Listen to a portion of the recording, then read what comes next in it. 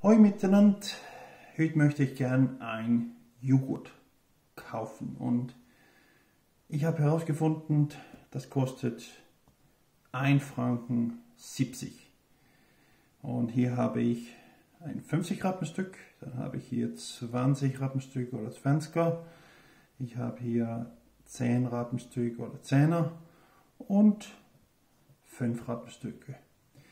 Ähm, und dann fange ich an zu zählen, also 50 Rappen plus 20, das ist 70. 70 plus 20 ist 90.